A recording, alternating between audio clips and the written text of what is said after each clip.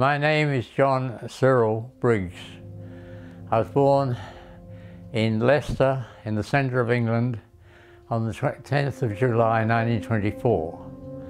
My father was a fitter, turner and toolmaker in Royal Naval Air Service in World War One, and uh, that comes into it later really. And my mother, I think it was Mabel Briggs, she was Mabel Goodman. I mean, you never remember your mother's name because you don't call that, you call her mum. My first memories of Leicester are starting to uh, things like, oh, I remember I got, I ran across the road when my brother was supposed to be looking after me, and a, a car hit me, but it was only the mud guard, and I took a bit of skin off my knees. I was born lucky. and uh, he got the blame. Poor brother. He's three years older. Um, anyway, I started school in Leicester and I was there for at least one day, I think. And then my father had seen an ad in the English papers by Henry Ford. If you know the story of Henry Ford, he was born in Cork in Ireland.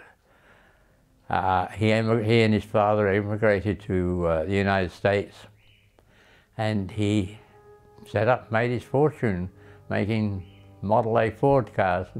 And before that, there was a Model something else. Um, and uh, anyway, he opened a factory in Cork because that's where he was born, Henry Ford. And uh, he put an ad in the paper, in the English papers, saying wanted skilled tradesmen apply at the gate. No promise of getting there or anything else. You had to make sure you do it. Ford's test of Ford's normal automatic test of people. If you come here, you have it, and you're any good, you'll get a job.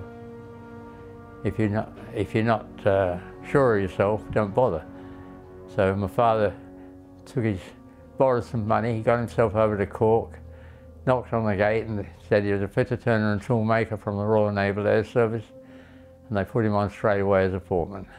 So we got fetched over to Cork, and uh, I said I had about one or two days school in England, then I was in an Irish school. That was fun because uh, with kids, because uh, your accent is different. Therefore, you've got to, you got your fight on your head from your start. uh, it wasn't too bad in Ireland. I was very young then, only five, um, and I soon learned to be a thorough Irish kid, Irish as they come. And uh, anyway, after three years, I don't remember too much about it. It was quite a happy time, a very lovely people in Ireland, uh, despite their reputation for fighting and things like that. but um, you've heard the story about the, the two blokes in the regiment, uh, in the Scots regiment, they said, during the war, and they said, we'll go out and find one of these Yanks and beat him up. And they came back in the morning, or a couple of Yanks, and beat him up, you know. And they were all black and bruised, and so we said, you pick a couple of good ones. To hell with it. We couldn't find a one, so we had to pick a fight between ourselves. That's an Irish story. Ah, yes. Well, I kissed the Blarney Stone when I was about so high. and there weren't any safety rails, then, they just hung me by the legs and you bend up and kiss it on the other side. You got to bend up and kiss the Blarney Stone on the outside of the battlements, you know. Nowadays they have safety rails under it. They didn't then. it's a long drop. Uh, ah dear. I always remember my grandmother and grandfather came over and they hired a car, which was unusual, you know, they had to be rich. And um, they were well, we were all right.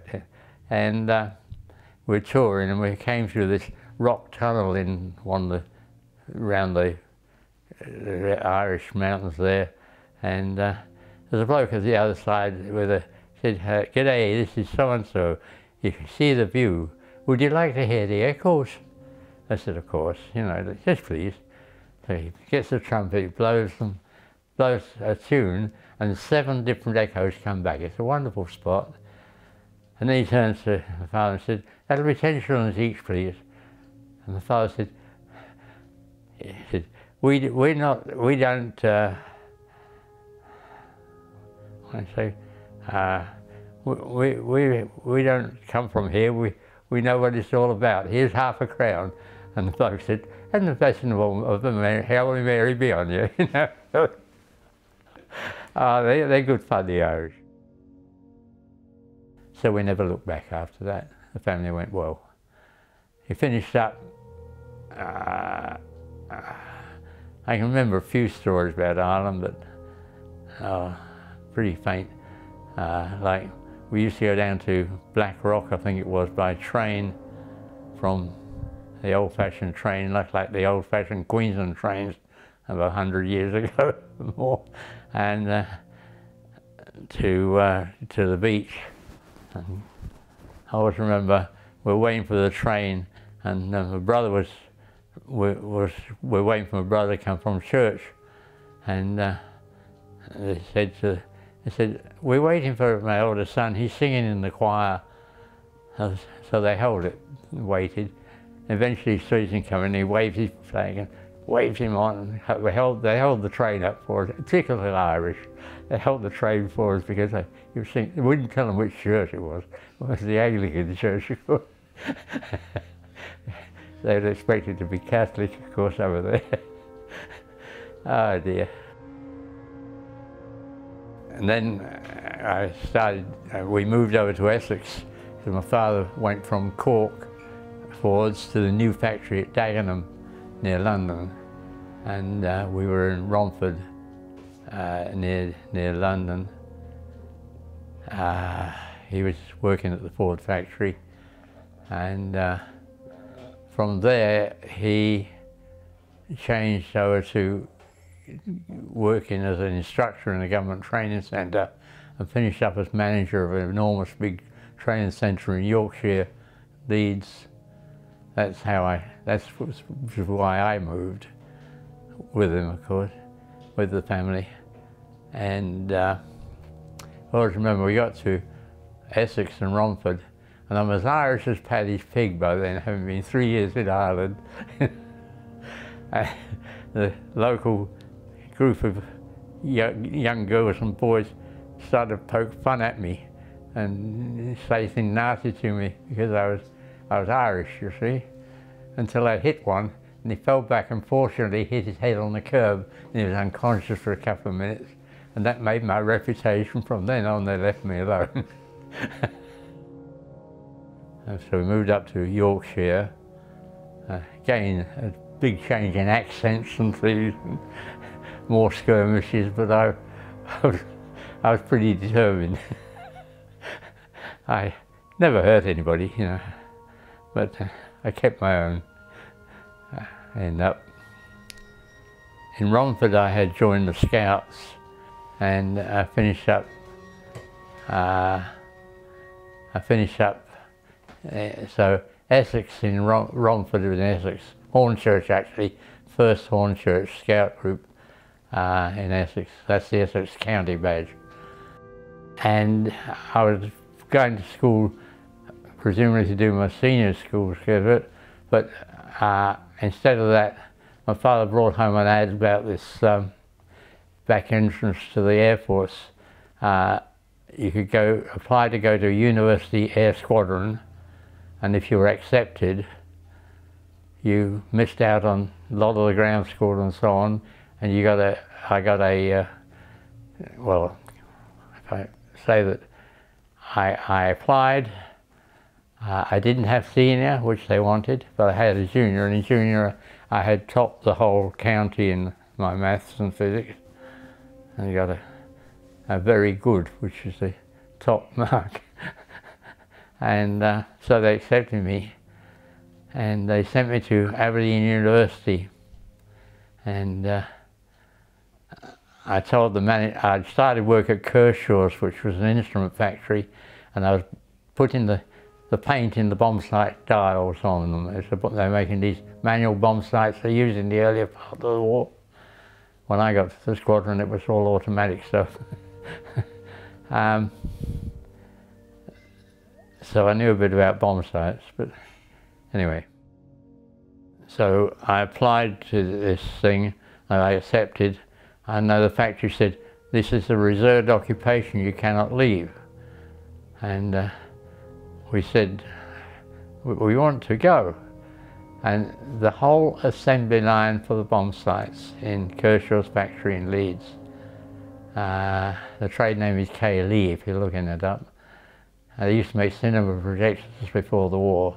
They turned over the bomb sights and things during the war. Um, anyway, I lose the thread. Um, so we, uh, the whole assembly line said, if you don't let these two lads go, we're going to stop work, we're going on strike. So management relented and we, off we went. I went to, I went to Aberdeen University Air Squadron. It was delightful up there. Very different to England.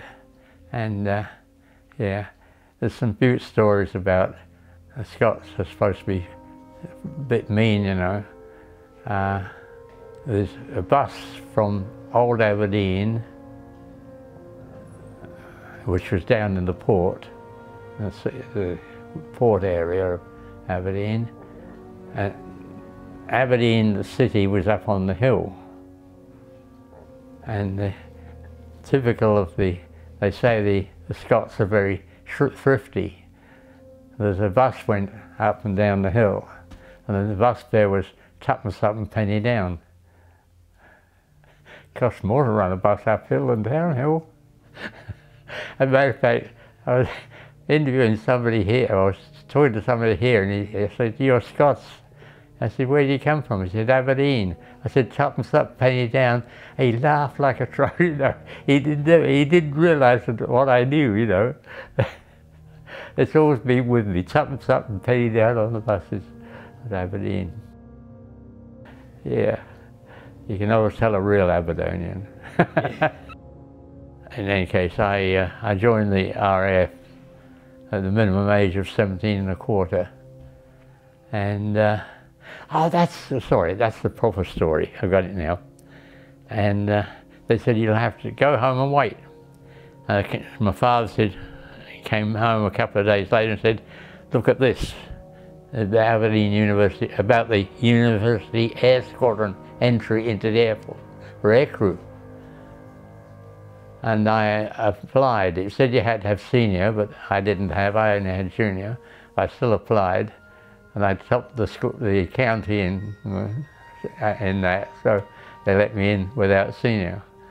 So I got uh, a Scottish matriculation in Aberdeen, and later, later on I went to, um, when did I go to university? After, oh, that's right. So then I joined the RAF at 17 and a quarter and uh, I went on and I was lucky enough to graduate as a pilot in Arizona. There's no flying training in England during the war, obvious reasons. they didn't want to be shot down too soon. uh, and uh, I, they went overseas to Canada or South America, uh, South Africa mostly, and we were sent to Canada, and we come into this big hangar, and uh, they're sending, joining hundreds to come off this liner, the Orontes, I think it was, and they we're all in this hangar, and they separated, sending groups off to this air train, this flying school, that flying school in Canada, all the flying school in Canada. And all of a sudden they said, and started calling us, we were sent to uh, what's the name of the field? Mesa Aerodrome in Arizona. Interesting place, Mesa. You've heard of Salt Lake City, Mormon City. Mesa is number two, Norman Mormon City in the United States. And we were stationed, the, the aerodrome there was where I learned to fly. So I had six months there and I got to know a couple of Ameri American family, the Bradt, B-R-A-D-T, it's a German name originally, uh, and they hosted us every second weekend we got off. We went to the Bradt for the weekend, you know, to relax. It's very, very, very good. Uh, I think they're both dead now. Well, they're older than me. they have to be. ah, dear. And eventually, uh, I graduated and uh, as a pilot, and we we came back to England, and I firmly believe that we were the last shipload of trained aircrew coming back to England that actually got to fly, because they they produced more aircrew than they to replace. They, they didn't lose as many in the war as they expected. We only lost 52% in Bomber Command. and the what sort of losses they expected, but they provided for. But uh, there was a glut in aircrew. But I was fortunate. I was of the last to come back to get to keep on flying. And actually, I did my uh, uh, basic flying in Tiger Moths and and actually in, in America, there's pictures up there of me in a Stearman and in an AT-6 or Harvard, as they call it in England and probably Australia. But I was lucky. I got on, got further training after a bit of a wait and uh, finished up um, on 166 Squadron. Uh, and uh, again, I was lucky and, you know, very lucky in another way, what with my age and timing. Um, when I arrived on 122 Squadron with my crew, that was, you've seen the pictures, haven't you? Bill O'Gorman was the flight engineer, um, Ron Jones was the navigator, Jackie Love was the bomb aimer, um, George Cairns was the wireless operator, Johnny Passaggi was the mid-upper gunner, and Fred Chandler was the rear gunner. Uh, yeah, Johnny Passaggi was Belgian Air Force. Actually, after the war, he went back to Belgium, and he was fighting the uprisings in the Con in the Belgian Congo. He got killed. I know that happened to him. Jackie Lobb I saw many, many years later, and from a little slim bloke, like the smallest bloke in our crew, he was a fat slob, and he died about a year, less than a year after I saw him, visit him.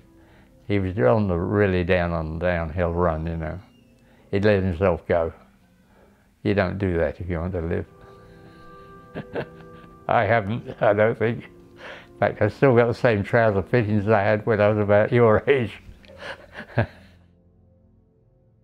I have heard of crews where the skipper, and incidentally, the pilot, the pilot is the skipper. He might have a higher ranking officer under him in the crew. The navigator might be a squadron leader or something, but the skipper's in charge. And the point is a crew lives together, flies together, and they know each other, they understand each other, they trust each other. It's a, it's a complicated business, but unless a crew is like that, it's not a crew.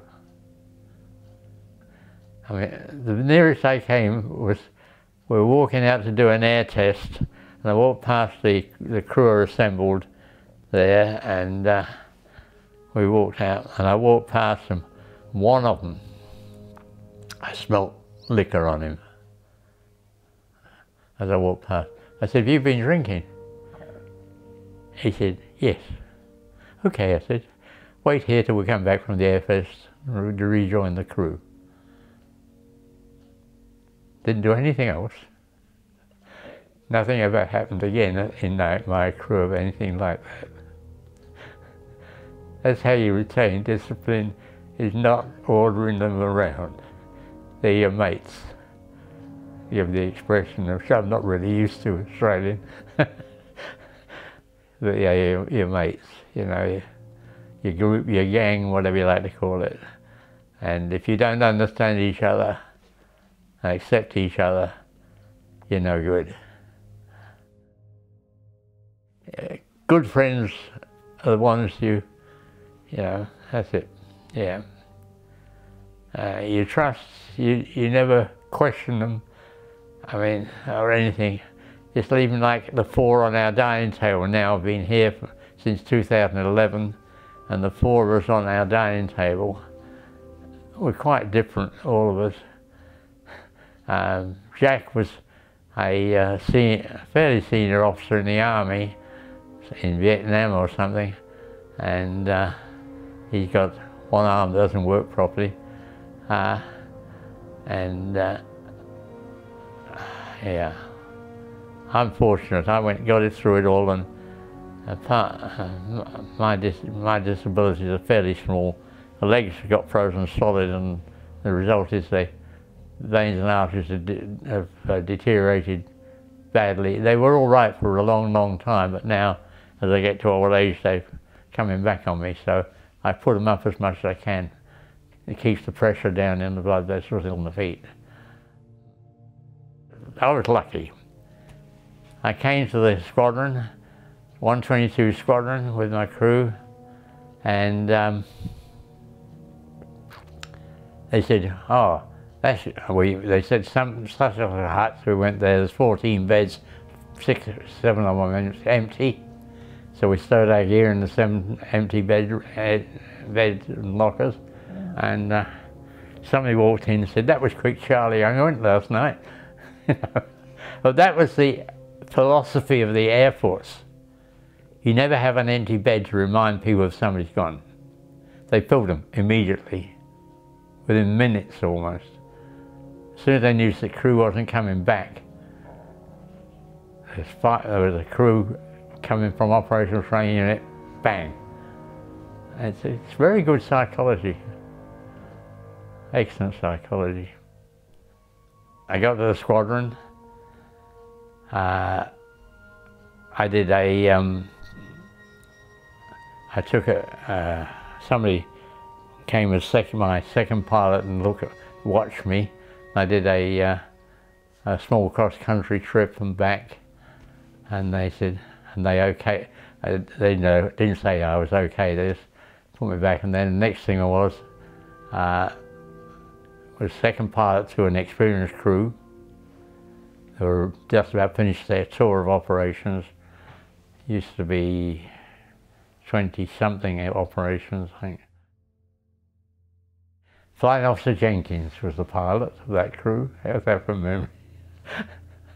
and I was his second pilot, you know, in the spare seat behind. There's the pilot and the flight engineer, and behind you is the is a spare seat. So if you're carrying an extra pilot, he sits, he's in that spare seat behind the two, the pilot and flight engineer. Flight engineer on the left and pilot on the right in a Lancaster. Uh, anyway, so my first my first operation was flying Officer Jenkins as second pilot. That was on Kiel. It was a night operation, standard for the RAF. Um, and uh, all I remember is that we were flying up towards Kiel and everything total dark, absolute darkness, you know, nothing nothing going on at all. We're about one minute, two minutes away from time we should be at the target, and all of a sudden lines, lines of parachute flares came. Pathfinders dropped lines of parachute flares over the target. And uh, then next second, they they hear master bomber, master bomber one to master bomber two.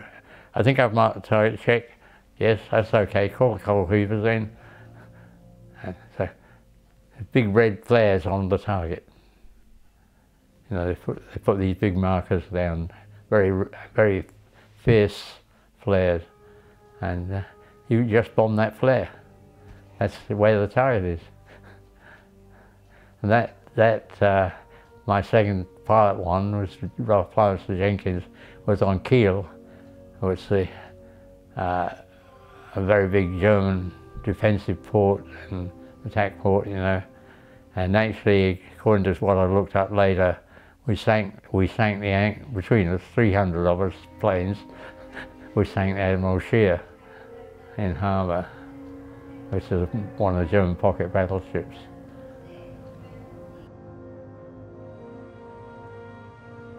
They had dogs trained to detect mines in the field.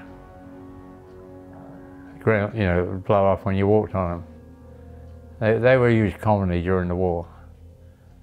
Uh, these dogs were, were sniffer dog, dogs, and they, they could sniff and find where a mine was and point to it.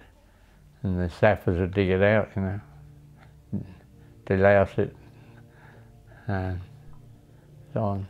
I didn't have a part of that at all. That's just some of the stories I've heard. Actually, my uncle Harold was in the uh, and fighting in uh, the Middle East. Um, he was a, a, sapper in the Royal Engineers. And I used to have great fun sending him an email letter. Sapper H.K. Briggs from Flying Officer John Briggs. It's like really quite a funny thing. Just a of amusement. Uh, my sense of humour coming out. But uh, no, anyway, we did this uh, bombing of Kiel as, as, as, our second pilot.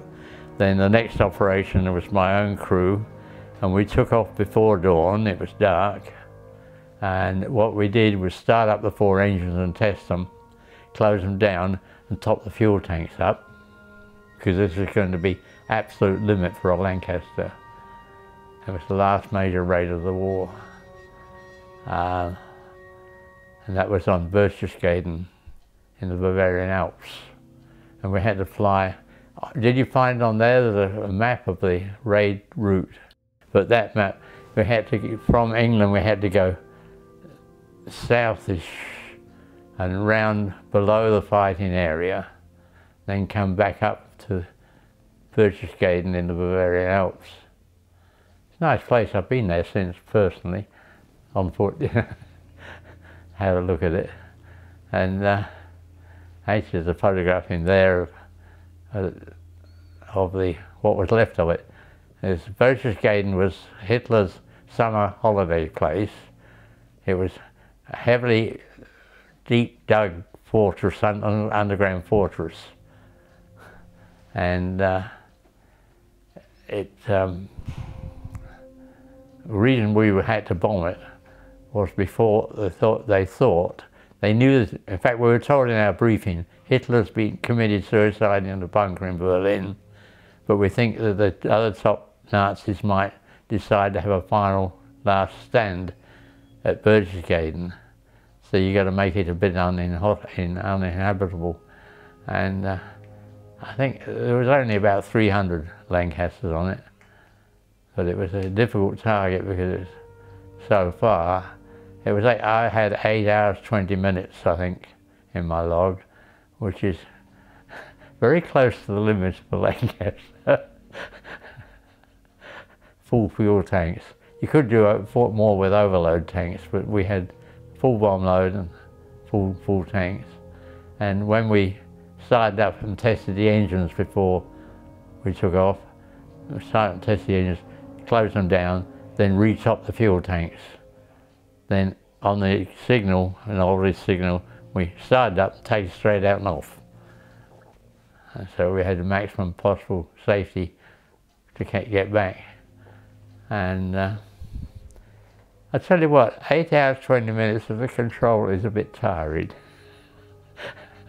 and because in, a, in, a, in a 300 plane strong cloud, with only very little spacing, be about two to three minutes from first to last bomb, give you an idea. Uh, the air's a bit turbulent from all the planes in front of you. Probably the first plane that goes is the first one that has nice quiet yeah. After that gets a bit turbulent. I know I was very tired after 8 hours 20, but I still made a reasonable landing. Um, not as hairy as the one I made later. I'll tell you about in a minute. But anyway, we, we did that, did Berchtesgaden. Uh, then that was night. That was as a second pilot to get experience. And then the next flight on my own was Berchtesgaden, sorry. That was Kiel was the first one. The next flight was Berchtesgaden in daylight. And uh, that was, I always say that was a beautiful tourist trip in broad daylight, flying over France and Germany, and we watched the the sunrise come across the light come across the ground towards us. It was dark where we were, and it was coming across the ground towards the sunlight. It's an amazing thing to see. I don't think I'll ever see it again the way it was then. Uh, anyway, we got there and uh, we were supposed to fly up the valley to bomb it, but the, the people in the lead, we had to follow lead aircraft instead of being our own masters. And Ron, my navigator, said, we should be turning now to the target. And it was two to three minutes later that we turned. Then in due course we had to turn back on a reciprocal course and come back to the target. So my navigator was better at the job than the people who were doing the lead aircraft. That's for sure. And uh, anyway, we, we bombed all right.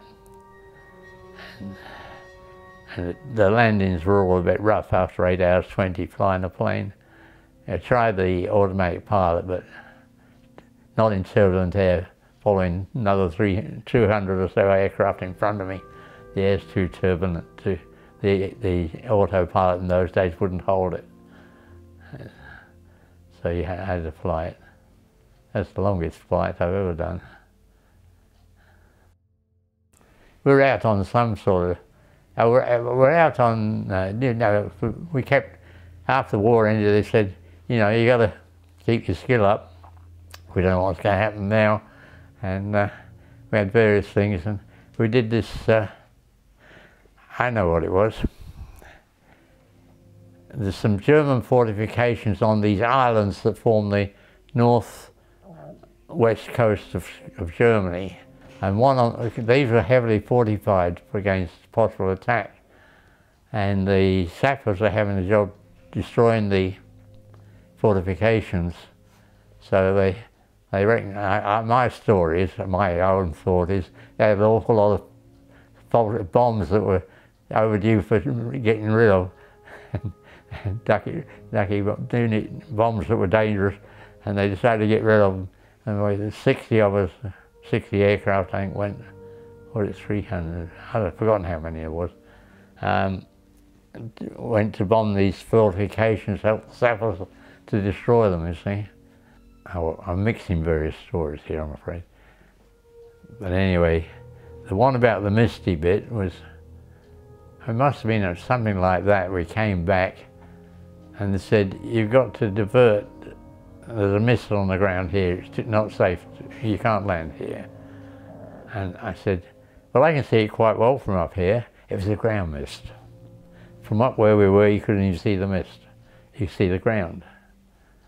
And they said, so I said, and the crew said, we're on weekend off. You've got to get us down. I said, hang on. I said, uh, I'd like permission for one attempt at landing. I said, okay, you have one try. And I came, I did an instrument circuit for the first time since I've been at flying school, I think. Time my legs, I turned to come in and descend. As I descend, I got into this opaque mist, and looking through it that way instead of that way, it was dense. And I started to see trees going by me on the left, and I, and I thought, oh, oh, oh, oh. Then I saw the black and white caravan about uh, 100 yards over to my port, and I've got bomb, I've got uh, undercarriage down and flaps down for landing, and I did a a 90 degree turn to port, a 90 degree back to starboard to line up with what was left of the runway, got down, landed and pulled up before I hit the fence. anyway, the crew was half as large. We had the weekend off and the flight commander wouldn't let anybody else try. I, I like flying. I'm, I'm very much at home flying an aircraft, you know. And the thing is, you're not controlling an aircraft. At least you're, you are the aircraft and your hands and feet are part of it. And it's part of you. If you're not like that, you're no good.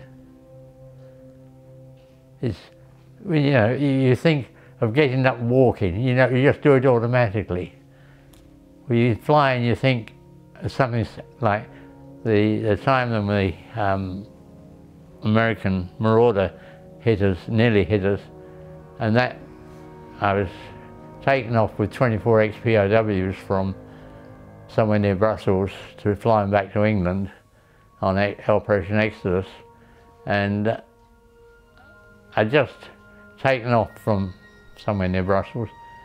And the um, I, will tell you the other bit that comes in between.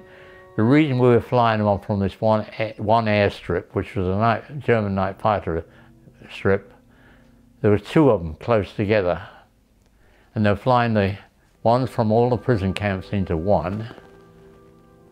And I say in my autobiography, clean them up a bit, and then we flew them out. You know what that means, really, don't you? Making sure they're all genuine. In other words, they've collected them in from various camps, and then they flew them to this where we were, and we were flying in and flying them out, and uh, they'd been vetted. I say cleaned up a bit, but I don't say the obvious, the real reason was to make sure there were no infiltrators coming to England. That's my belief. I've got nothing to back that up in words, but it, so fits so well. That's why would you, in a short flight from Brussels, uh, from aerodromes in Germany to Brussels, why did you bring that in instead of flying straight to England? Brussels. Change aircraft, and as they go through, they, they go through a little inspection area, and uh, yeah. Uh, we're taking off, and uh, 24 XPOW was on board, and it wasn't, I wasn't far up when I was in cloud. The next thing I see this, it was, I can see it still now in my memory. It was that angle, two engines, wing coming head on at me in cloud, and my mind identified it as a, um, hmm, it's in my book, but it was, it was right. It was a twin engine, like by, from uh, fighter bomber, a Marauder, a Marauder, American Marauder, um, coming head on at me. And your immediate reaction is, if you don't work, you don't live. You know? I saw this, in fact, the brain doesn't work fast enough to take more than one picture at a time. I've got that memory of that wing like that with two engines and the body appearing. And next the next thing I got is the base of that plane going across the canopy. My brain didn't record any other pictures. But as soon as I saw that, I knew what he was doing and I, I twitched my wings to the same angle and dived like hell. And next thing, of course, was uh, restoring flight, proper flight before I hit the ground. that was a bit hairy. and of course, we had 24 XPOWs aboard. I just said to him, that was all right. It's just a yank, yank uh, plane going the wrong way around the circuit. You know, made light of it.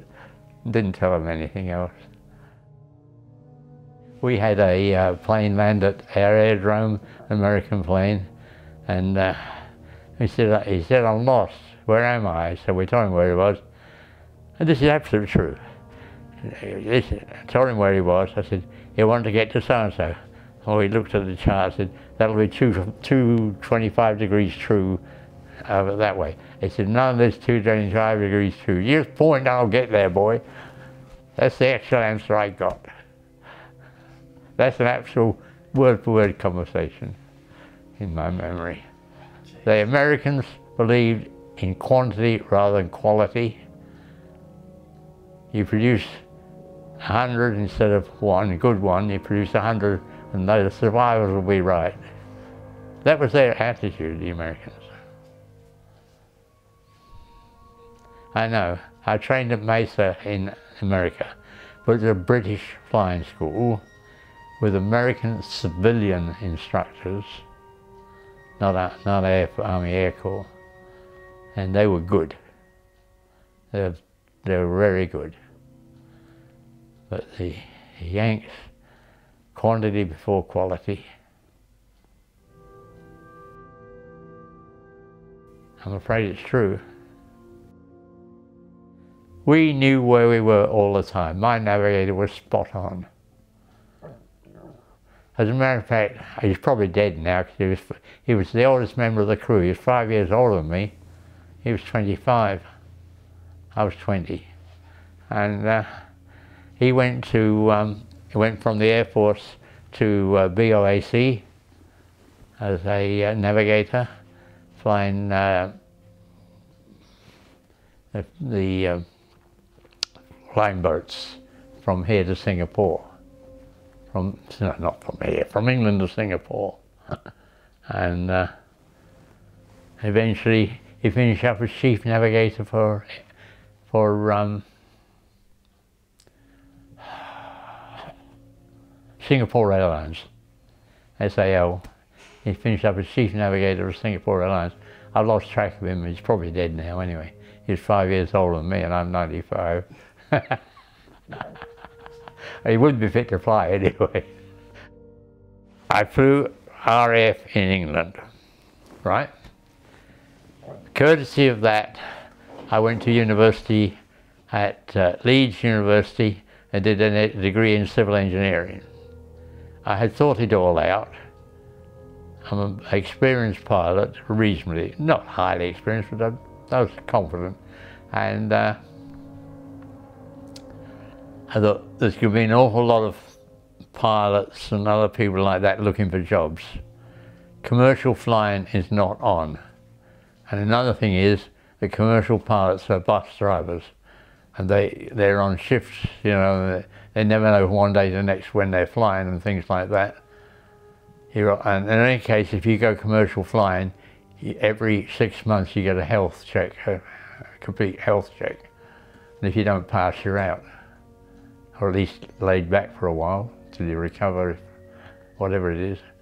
It's an, I mean, you've got to be 100% to be a, a commercial pilot.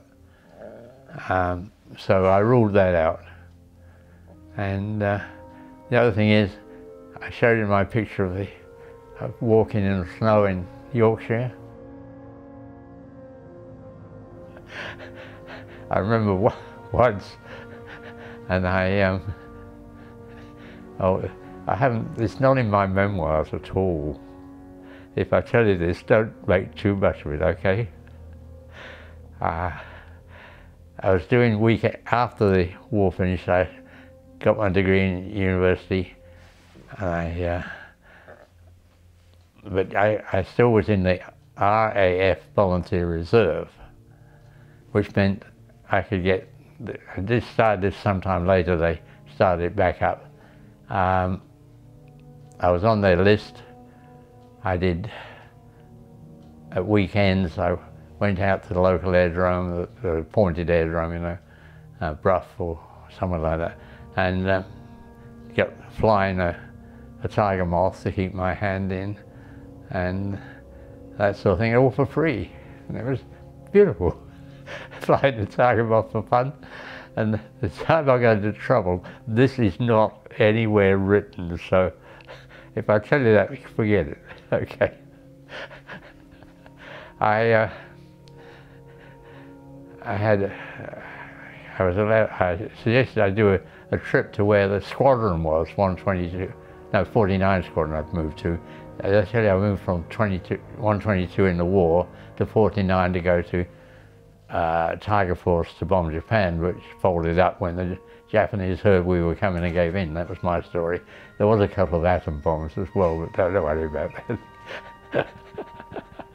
anyway, uh, to, so on this reserve, this volunteer reserve, they they like to keep your skills up. So we we went weekends we we went and flew around a bit, you see, and one was a long weekend, and uh, I said, uh, any chance of me doing a cross country to 49 Squadron to see some of the squadron? From here on, this doesn't go anywhere. Okay, so you and me. Uh, so they said, okay. So I arranged that and I flew the Tiger Moth down to, I can't even remember the name of the place now, um, to where the squadron was.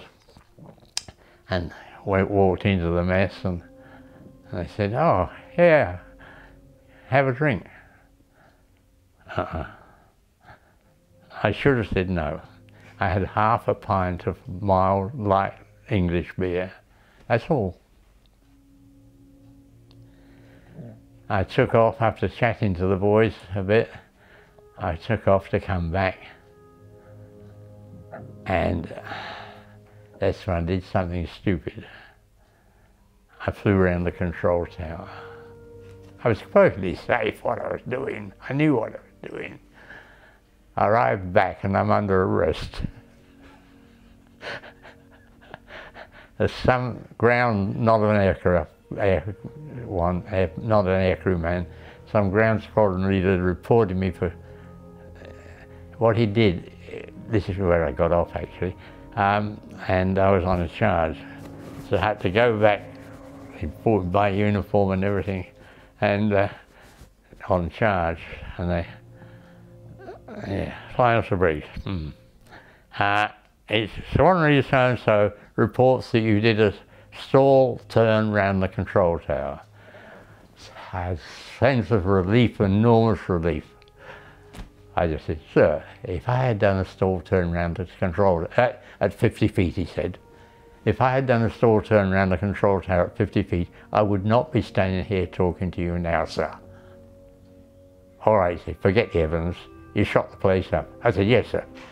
May I ask why? I said, well, I had that morning received the information from the Leeds University that I had passed my final exams, and I was in a somewhat joyous mood. All right, he said, leave the room. A couple of minutes later, he come back in, said, Silence Briggs, you are reprimanded. Said, thank you, sir. reprimand goes off your records in three, in 12 months. It's the lowest possible disciplinary action. There's nothing lower than that, except dismissing it altogether. Now, that's not anywhere in my stories. So please keep it to yourself. I took a job in Victoria from university in Leeds. I, uh, I think I did a little bit of work experience in Grimsby on, uh, uh, yeah, did some work experience on uh, building an underground sewage pumping station in Grimsby. Um, Pyewipe, Grimsby. Um, it was to raise the sewage uh, above tide level so it could go out all the time instead of being only at low tide. They had tide gates on the sewer which closed as the tide came in. And then when it fell, they opened and it came out. I remember once I was, uh, we were building this, and I was walking across the light railway bridge, which was very flimsy girder, a little girder bridge with two foot gauge railway on it, taking supplies out to the job and things. And uh, I had the area manager with me and I said to him, I explained the job, what we were doing. I was in charge of building this underground sewage pumping station. And uh, I suddenly saw the tide gate swinging open. I started to run. and, and the area manager said, what the, then he passed me.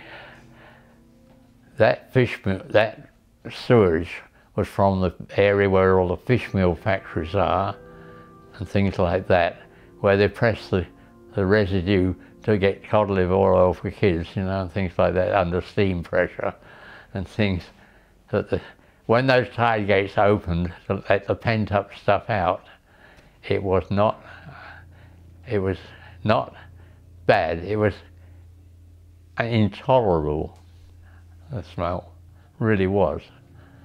Because I remember this time I saw the tide gates open and I started to run. And the, the area manager says, what the? And then he passed me. he got it. but this was my one of my first, that was a, straight from university, that was a, I did about it. I, I don't know how long I did, but less than a year probably. And then I got this, I got the opportunity to go to Victoria as a civil engineer on uh, irrigation water supply commission for Victoria uh, for three years and um, I enjoyed that. I had, I was managing the whole of Victoria virtually, or most, most of the area where this thing was, uh, uh, water supply and, and uh, so on. And we had dams and things and pipes and all sorts of things and, you know, keeping everything under control and building new ones and things like that. Then at the end of the three years, Fred Bunting, and a friend of mine that had been with me for a few years, uh, we decided to um, quit and go to you know, the, the jobs were, were far and few between in England. It was, it was dying, there was not much on offer. Mm. And we decided to go home and go to North America, to Canada, to where there were some decent jobs offering new dam works and things like that. There was a group, I got in in Melbourne, and he come from Sydney, and there's a group of girls from oh, this horrible northern territory called Queensland, is it? and they welcomed us aboard. All I can say is this, we walked past them, and my whole body said, that's her. Just like that. So I carefully, Fred and I carefully looked after her and she was traveling with another lady. We carefully looked after them each port we came to, made sure that they were safe going ashore in these foreign points, ports, you know. And uh, on the final leg to England, we were in the Red Sea, I think it's called, and uh, sitting there in the deck chair and here, and Joyce is in the deck chair there, and I said, I just walked over and said, will you marry me? There's a two second, one second pause, she said, yes. I never ever said in my life to her, well, I love you or anything like that. We didn't have to. We knew each other. And that's, that's absolutely true. So when I got home, they were going on this trip around Europe and so on. So the agreement was that she'd come and stay with us at my home when she got back, instead of going back to Australia. And uh, uh, so she came, she came, and uh, I, I said to the family, well, we're going to get married. so we went out, we bought a ring, and uh, I had, I got a week off work. We had a honeymoon of one week. and uh, yeah. I always remember it was the Yorkshire Dales. I'll show you that picture, my favourite picture. I love the Yorkshire Dales. Beautiful country. And uh, I had this place in, on the Yorkshire Dales where there was a, a little pub rooms, you know. I, I rang them up. I said, I want a room for two. And uh, I always remember and we arrived there and they showed us into this room. We'd been married that day and we walked into this room and it's got twin beds, you see. And I looked at and it's late at night, it's fairly late in the evening, you know. Thought, oh well, you got to put with what you got. And so we occupied one of the twin beds. uh, and next morning, the, land, the landlady, Republican lady, came to me and said, I'm sorry about that. I said, she said, I didn't realize. How she found out, I don't know. But she, said, I didn't realize. She must have realized when we'd only used one bed. so I, my week's honeymoon on the Yorkshire Moors, we, we were changed from that. It was a beautiful room with twin beds, a beautiful outlook. We changed to a room at the back of the place with a double bed, no view, which well, didn't worry us at all.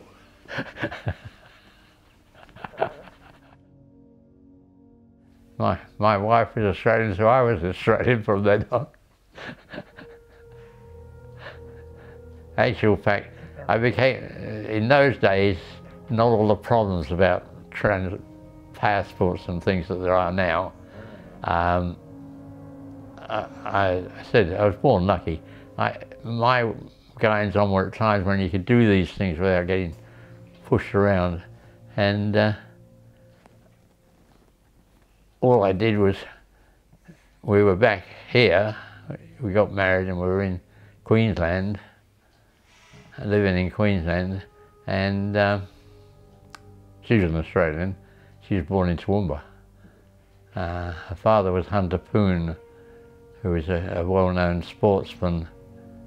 Uh, he was a uh, he had been badly wounded in the First World War on the Somme, the same battle that my Uncle John was killed in, that I'm named after.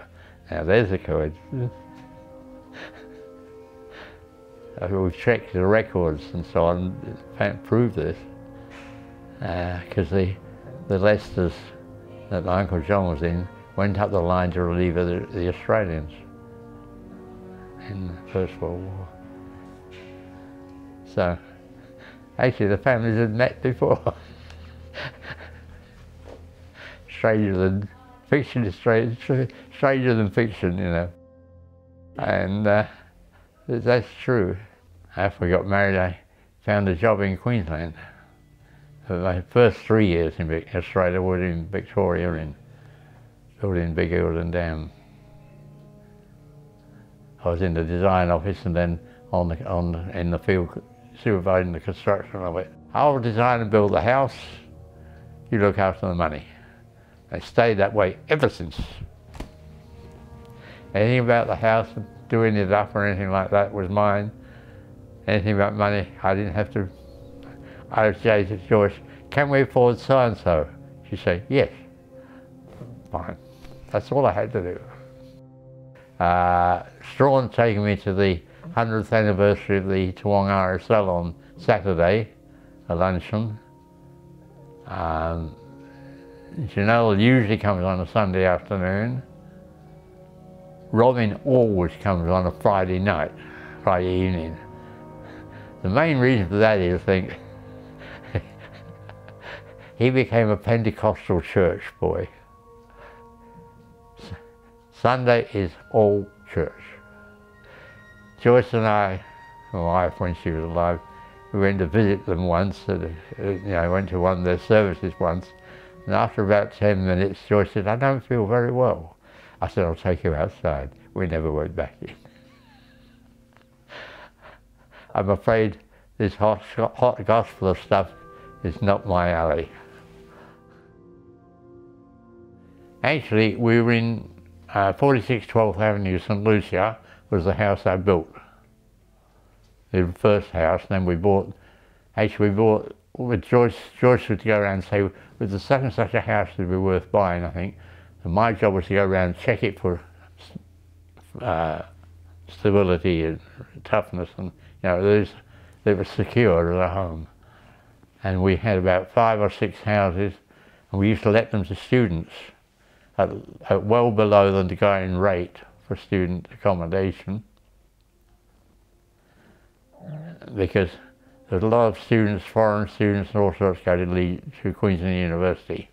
And St Lucia's so five minutes walk from it.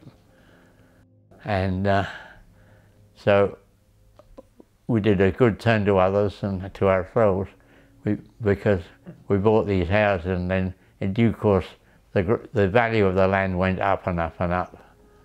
And I became worth a couple of million without even turning a finger, just on the property we bought.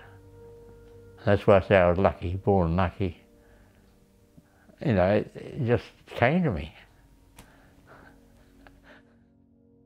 Uh, anyway, uh, Robin now runs his own civil engineer. He was a civil engineer, runs his own business as an estimator. Uh, he will estimate prices for contractors to put in for tenders for big construction jobs. That's, that's what he finished up doing, doing estimating as a job. For, and then people employ him because they uh, found he's pretty good at doing it. He's got the background in civil engineering that I had, that I had, and he was a civil engineer. Strahan, um, I don't know if I say that too much, too all that much about him. He's a bit of a mystery man, but he, he keeps himself well afloat. He's well ahead of everything. He's, he's bright like me he's applied in a different way, sort of. He doesn't know anything illegal, but he, he knows how to make a penny here and there, and does. That's all I'm going to say, because I don't really know anything about Strawn, except that he, he's happily, that all three are happily married. Actually, go further. Robin, the eldest, got married, and it was like a rock. That's it. Full stop.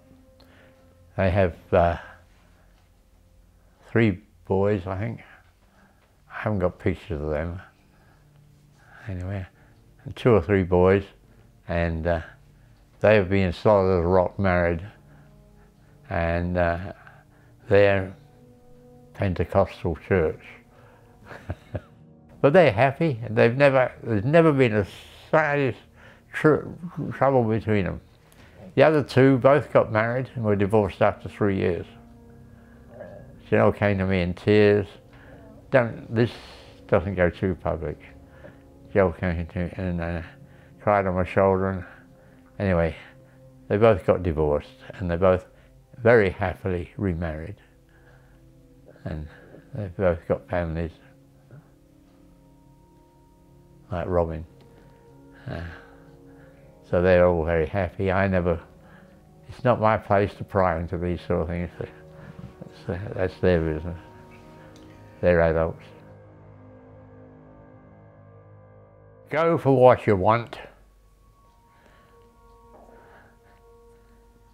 Always have a sense of humour, never lose it.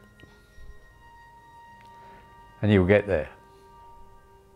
If you've got what it takes. But I mean, everybody's different. You've made it in what you're doing. I made it in civil engineering. They've all got family and uh, they all come and see me, you know.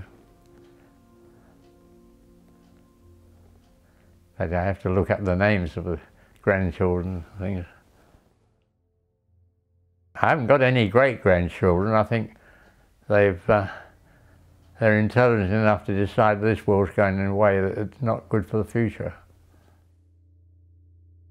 I mean that, whether you've ever thought about it. It's, the world's got, could, could blow itself up at any time if it wanted to. And, uh, uh, yeah. I don't get into politics. Most people here are happy, I think, reasonably happy. I've never met any really unhappy ones, but some people are all different. You're speaking about a group of people are all different. And it's very difficult to put yourself in the mind of anybody else. It's, uh, uh my best experience was running a crew on a Lancaster. That was and I had a lot of scouting, as I said, and they were my patrol. There were never any orders given.